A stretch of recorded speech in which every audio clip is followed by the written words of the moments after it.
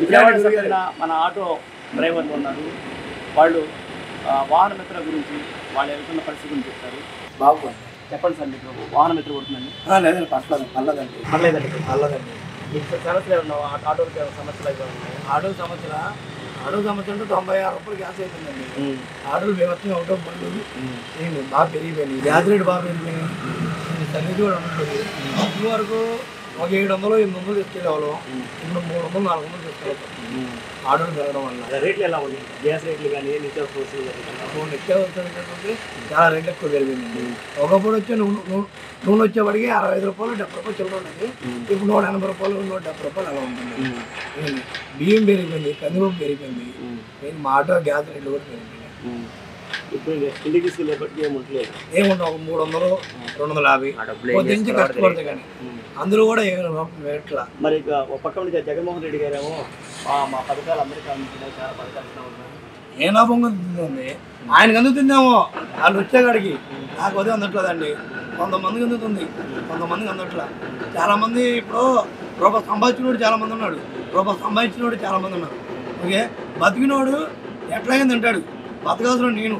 నాకు పెళ్ళం పిల్ల ఉన్నారు ఫీజులు కట్టుకోవాలి అద్దెలు కట్టుకోవాలి కరెంట్ బిల్లు కేబుల్ బిల్లు ఎన్ని బోళ్ళు ఉన్నాయి. నేను అద్దెలు కట్టుకోవాలి కిస్తులు కట్టుకోవాలి. ఫోన్ బిల్లు కానీ ఎక్కడ చాలా ఉన్నాయి.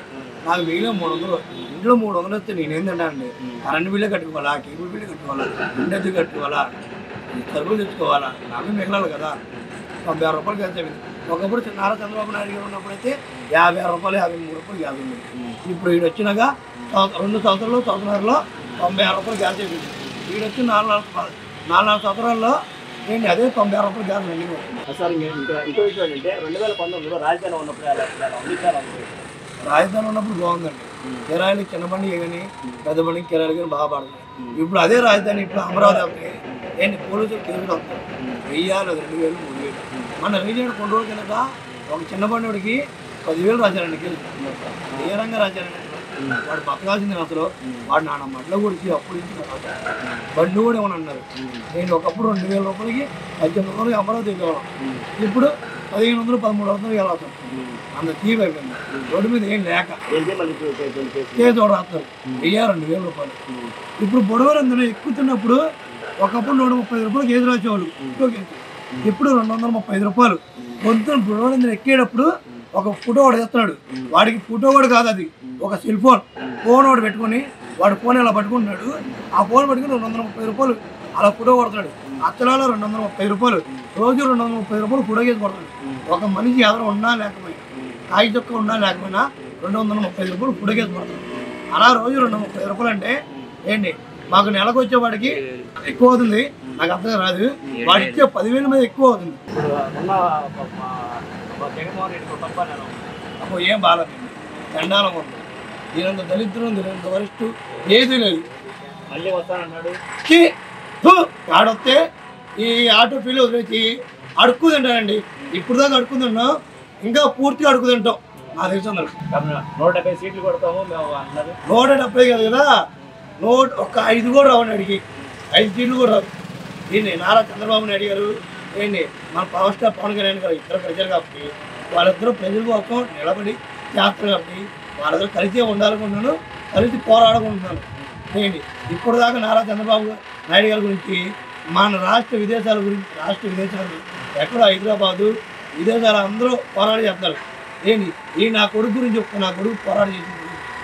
ఆఖరికి బ్రాహ్మణి గారు కూడా రోడ్డు మీద వచ్చారు. ఏంటి లోకేష్ అలా ఆవిడ వచ్చింది చంద్రబాబు నాయుడు గారు అలా ఆవిడ వచ్చింది ఇంతవరకు వాళ్ళు రోడ్డు మీదకి వచ్చి అడుగు పెట్టింది ఏ రోజు లేదు. ఇప్పుడు అడుగు పెట్టాల్సి వచ్చింది. ఏంటి నారా చంద్రబాబు నాయుడు గారు ఇంతవరకు ఏ రోజు ఒక జైలు అదే జైలు కూడా వెళ్ళింది రోజులు ఇప్పుడు జైలుకి వెళ్ళొచ్చి వెళ్ళారు. ఇప్పుడు నలభై ఐదు రోజులు యాభై రోజులు అయిపోయింది కూడా. పాప ఒక్క కేసు అండి ఆయన మీద లేదు. ఆయన ఏదో కేసు ఒక కేసు మీద తర్వాత ఒక కేసు ఒక కేసు మీద తర్వాత ఒక కేసు పెడుతూనే ఉన్నారు. ఇవన్నీ ఓన్లీ జగన్మోహన్ రెడ్డి కేసీ ఏంటి? కష్టపూర్తిగా అంటారు కదా. అయ్యి అయ్యండి. ఇప్పుడు ఒక పక్క ఉంటే యోగిరెడ్డి కానీ అంబటి రాంబాబు కానీ కానీ ఆమె బస్సు యాత్ర చేసినటువంటి వాళ్ళ వేసినా కొడుకులండి. కొడాలి నానే కానీ అమ్మడి ఆ రోజా కానీ ఆ రోజా పని పడలేదు. బాగుంటుంది. ఎలా పడితే అలాగా. ఎన్ని పది కార్లు ఇరవై కార్లు ఉన్నాయి.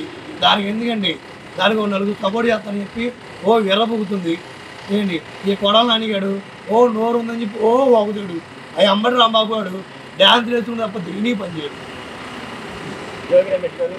ఆడకి అంతగానే వెస్టిగాడు ఇప్పుడు మన ఆటో యూనియన్ నాయకుడు అశోక్ గారితో ఆటో వాళ్ళ సమస్యలు వాళ్ళు పడుతున్న ఇబ్బందులు అదేవిధంగా జగనాన్ని ఇచ్చే వాహన మిత్ర పథకం ఏ విధంగా ఉపయోగపడుతుందో మాట్లాడుతున్నాం చెప్పండి సార్ ఇప్పుడు వాహన మిత్ర పథకాన్ని జగనాన్న అట్లా మీ యొక్క దాంట్లో మీకు ఎలా వాహన మిత్ర అనేది కొంత వేస్ట్ అండి. ఈ వాహన మిత్ర ఇమ్మని మేము అడిగామా? ఎందుకు ఈ పథకాలు ఉన్నాయి ఎవరికి చెందుతున్నాయి అని? ఎవరు బాగుపడుతున్నారని ఎవరు బాగుపడుతున్నారు అంటే వాళ్ళ పై వాళ్ళు మా బాగుపడుతున్నారు. మళ్ళీ ఇంకోటి చెప్పాలంటే జగన్మోహన్ అయితే మాకు ఇచ్చే సంవత్సరం పదివేలు అయితే ఆయన ముప్పై వేలు సంవత్సరంలో లాగేసుకుంటున్నాడు దీనివల్ల మా ఆటోలకు ఏం ఉపయోగం? అద్దులు కట్టుకోవాలి ఇంటి అద్దులు కట్టుకోవాలి ఇంట్లో జరుపుకోవాలి నిత్యావసరాలు అన్నీ అన్నీ పెరిగిపోయినాయి. బయట చూస్తే ఏ ఉపాధి అనేది ఏం లేదు. సూర్యం ఈ జగన్మోహన్ రెడ్డి ఈ సైకో ఓ మాటలో చెప్పాలంటే సైకో ఇక్కడ దగ్గర నుండి ఈ నాలుగు నాలుగు సంవత్సరాల్లో ఒక ఆటోడు పొద్దు నుంచి సాయంకాలం దాకా వెయ్యి రూపాయలు తోలాలంటే అల్లాగిపోతున్నాడండి ఐదు వందలు అద్దె కట్టుకోవాలి. ఐదు వందలు గ్యాస్ తీయాలి. ఏం మిగిలినాయండి ఇంకా? అక్కడికే వెయ్యి రూపాయలు లేచిపోతుంటే ఇంట్లోకి ఏం తీసుకున్నాం చెప్పండి? పిల్లం పెట్టాలని ఏ విధంగా పోషించుకుంటాడు? ఎక్కిన నాలుగు నాలుగు సంవత్సరానికే పెంచుకుంటూ వెళ్ళిపోయాడు. సంవత్సరానికే అప్పట్లో రెండు వేల పద్నాలుగులో చంద్రబాబు ఉన్నప్పుడు గ్యాస్ రేట్ ఎంత? యాభై రెండు రూపాయలు. అప్పుడు చంద్రబాబు మన దే హైదరాబాదు మన విజయవాడ డివైడ్ అయిన తర్వాత రాజధాని అమరావతి అన్నప్పుడు ఉపాధి చాలా బాగుందండి. ఇంటికి ఇంచుమించు ఓ పూటలు వెయ్యి రూపాయలు తీసి వెళ్ళేవాళ్ళం పొద్దున నుంచి మధ్యాహ్నం దాకా ఆడుకుంటూ పాడుకుంటూ. ఇప్పుడు ఈ సైకిల్ దగ్గర నుండి ఒక్క టిఫిన్ యాభై రూపాయలు ఖర్చు పెట్టాలంటే ఈ యాభై రూపాయలు మళ్ళీ వస్తాయా బావా ఇప్పుడు జగన్మోహన్ రెడ్డి గతంలో మాట్లాడిన వాహన మిత్ర పథకం ఇచ్చాము అనేక సంఖ్య పథకం ఇచ్చాము ఇప్పుడు చాలా బాగున్నాం అంటారు ఆ సంఖ్య పథకం మీరు ఏ విధంగా పరిపాలన ఉంది రోడ్లలో చూడండి పైబోర్డ్ నుంచి ఆ, పాలసాటి వెళ్ళే ఒక చూడండి మొత్తం గోయి గోతులు అక్కడ నుంచి భవన్ బాధ నుంచి భవన్ బాధ ఇంక దాగి వెళ్తే ఆ బిజ్జేత మా దావనం గోతులు గోతులు. ఆ రోడ్లు అనేవి ఎక్కడ లేదండి. అంత శూన్యం. చెప్పాలంటే ఒక మాటలో. పైబాన్ ఆయన బాగోలేదండి. గ్యాస్ రేట్లు ఎలా ఉన్నాయి? దాని గురించి ఆదాయం బాగా సంతృప్తి చూసిందా? గ్యాస్ రేటు వంద రూపాయలు అయిందండి. కేజీ వంద. కేజీ వంద అంటే ఆరు కేజీలు. ఆరు వందలు. గ్యాస్ ఆటోకే తొలుకోవాలా? ఇంట్లోకే చదువుకోవాలా? పిల్లల్నే చదువుకోవాలా ఆటో అద్దె కట్టుకోవాలా? ఏ విధంగా? రోడ్డు మీద జనాభా చూస్తానేమో ఏం లేదు శూన్యం. ఎవరికి వాళ్ళు ఓడి వెహికల్స్ ఎక్కువ వెహికల్కి వాళ్ళకి అవగాహన లేదు. అవగాహన లేక యాక్సిడెంట్ విపరీతంగా అయిపోతున్నాయి. ఆటో వాళ్ళకేమో ఈ బండి రెండు వేల పన్నెండు మోడల్ అండి. ఎదురు బుల్లుగు అప్పట్లో బు- లోకల్కి అన్లోకల్కి తేడా ఏంటంటే ఎదురుగా బుల్లుకు సింబల్ ఒకటి ఇచ్చారు నంబర్ పోలీస్ నంబర్ అని. అవి లోకల్. ఆ నంబర్ లేనికి అన్లోకల్. అని చెప్పేసి ఇచ్చారు ఏ ఉపయోగం అండి? నేల చూసుకున్నాం ఇంకా ఇచ్చింది. ఎక్కడి నుంచో వచ్చేస్తున్నాడు పల్లెటూరు నుంచి. షార్ట్ మీద వచ్చేస్తున్నాడు నైట్ ప్యాంట్ మీద వచ్చేస్తున్నాడు. తోలు కొంటున్నాడు పొద్దున్నది నైట్ దాకా. ఇక్కడ ఉన్న లోకల్ వాళ్ళకి మాకు చాలా ఇబ్బందికరంగా ఉంది. ముందు అవుటప్పులు తీసేస్తే కనుక మాకు దరిద్రం పోయినట్టే ముందు. ఉపాధి కల్పించినట్టే. ఇప్పుడు మీకు జగనన్న పిల్లలకి విద్యా దీవెన వేస్తున్నారంటే పథకాలు నేను చాలా మంది దృష్టిలో చూశానండి. ఈ విద్యా దీవెన అనేది ఎందుకు పెట్టావా బాబు అనేటు ఉంది చెప్పాలంటే. ఎవ్వటికి పది శాతంలో టూ పర్సెంట్ మాత్రం అందుతున్నాయి. మిగిలిన పర్సెంట్ మాత్రం త్రీ పర్సెంట్ అందట్లా. చాలా మంది బాధపడుతున్నారండి. ఈ పథకాలు ఎందుకు పెట్టాడు? ఎందుకు? ఈయన మళ్ళీ నూట డెబ్బై ఐదుకి నూట డెబ్బై సీట్లు అని వస్తున్నాడు? ఇంకెందుకు? అన్ని ప్రతి సంవత్సరం ఈయన వెళ్ళిపోమని చెప్పండి. ఇప్పుడు చూస్తేనేమో అమరావతి దగ్గర భూముల గురించి గొడవలు అయినాయి. అక్కడ పవన్ కళ్యాణ్ వస్తున్నాడంటే రైతులు ఒక భూమి ఇవ్వడానికి రెడీ అయ్యారు.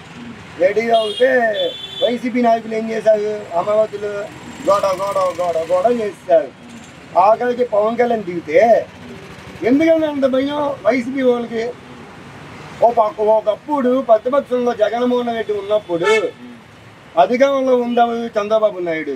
జగన్మోహన్ రెడ్డి పాదయాత్ర చేస్తుంటే ఎవరు అడ్డుపడ్డాడండి? ఎవరైనా ఏ ఒక్కరైనా సరే నాయకుడైనా సరే అడ్డుపడ్డారా మరి ఇప్పుడు ఎందుకని నాగలోకి పాదయాత్ర చేస్తూ ఉంటే మళ్ళీ పవన్ కళ్యాణ్ గారు పాదయాత్ర చేస్తూ ఉన్నా రోడ్ షోకి బస్సు వస్తున్నా ఎందుకని ఇంత బాధ ఇంత ఇబ్బంది పెట్టేస్తున్నాడు? వాళ్ళని అంటే నీళ్ళు వణికి పుట్టిందనేగా అర్థం. అటు ముడికంటే ఆయన ఏమంటానంటే నేను నాకు సంక్షేమ పథకాలు బ్రహ్మాండంగా చేస్తున్నా రాష్ట్రాన్ని అభివృద్ధి చేస్తాను. అందుకే మొత్తం నాకే ఓట్లేస్తాను నాకేం భయం వేస్తుంది. అభివృద్ధి. అభివృద్ధి అంటే ఏంటంటే ఒక ఇంట్రెస్ట్ ఏమైనా వచ్చిందా నిరుద్యోగులకి ఏమైనా ఉద్యోగాలను కల్పించాడా? ఇప్పుడు దాకా వదలలేదండి నేను కూడా ఇండిపెండెంట్ చదివిన ఉన్నాయి ఇప్పుడు దాకా నేను నాకు కూడా ఏం పడట్లా. నేను కూడా ఉద్యోగుల గురించి ట్రై చేస్తున్నా. ఏమి లేదు. అంత శూన్యం. అభివృద్ధి అనేది శూన్యం. ఎంతసేపు ఈయన పథకాలు పథకాలు పథకాలు మాత్రం తప్ప ఏమీ లేదు. అంత శూన్యం. అభివృద్ధి. ఇప్పుడు నిరుద్యోగులు కూడా తిట్టుకుంటున్నారు. ఈ సైకోని ఎందుకు ప- ప- ఎందుకు గెలిపించుకున్నామా బాబు? చంద్రబాబుని గెలిపించుకున్నా బాగుండు. ఉద్యోగాలన్నా గొప్ప పవన్ వచ్చాయి ఇండస్ట్రీస్ వచ్చాయి. స్కిల్ డెవలప్మెంట్ అని చంద్రబాబు నాయుడు పెట్టాడు. పెట్టినప్పుడు దాంట్లో కొన్ని లక్షల మంది ఉద్యోగాలు చేస్తున్నారు దాంట్లో ట్రైనింగ్ తీసుకుంటున్నారు. దాన్ని ఎందుకని అంత ఇదిగా పా- ఇప్పుడు చేస్తున్నారు? ఈ నాలుగున్నర సంవత్సరాలు వదిలేసి ఇప్పుడు ఎక్కిన నాలుగు సంవత్సరాలు నాలుగున్నర సంవత్సరాలు అయింది. ఫస్ట్లో నుంచి పెట్టుకోకుండా ఇప్పుడు ఎందుకు చేస్తున్నాడు?